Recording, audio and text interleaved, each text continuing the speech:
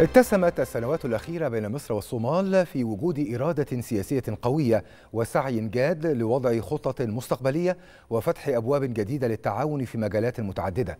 فخلال السنوات الماضية شهدت العلاقات الاقتصادية بين مصر والصومال نموا متزايدا في جميع المجالات.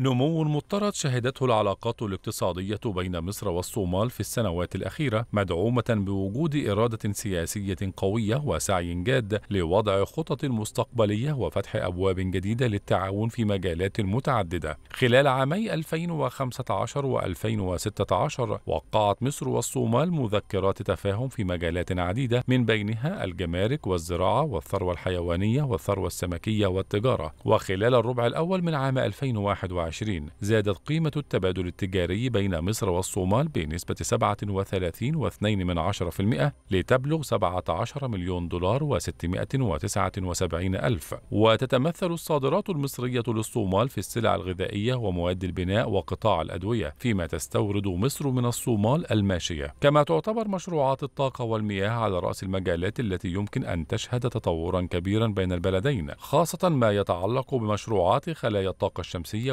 وشبكاتها لا سيما مع تشابه الظروف المناخية للبلدين ويعد قطاع البنوك من قطاعات التعاون الواعدة حيث تم الاتفاق على تدشين برامج تدريبية للمصرفين الصوماليين سواء عبر البنوك الوطنية المصرية أو بالتعاون مع المعهد المصرفي المصري. زراعيا يعد مجال الزراعة والثروة الحيوانية من القطاعات الواعدة التي يمكن اعتبارها قاطرة لتنشيط التعاون الاقتصادي بين البلدين. وفيما يتعلق بمجالات المياه قامت مصر بتدريب عدد من المتدربين الصوماليين في مجال الإدارة المتكاملة للمياه والأراضي بالتعاون مع منظمة الأغذية والزراعة الفاو. وفي عام 2020 وقعت مصر اتفاقية تعاون مع الصومال لنقل الخبرات المصرية إلى الصومال في مجال البترول والغاز. إلى ذلك تمضي العلاقات المصرية الصومالية ما بين تاريخ طويل من التعاون ومستقبل يجمعه المصير الواحد.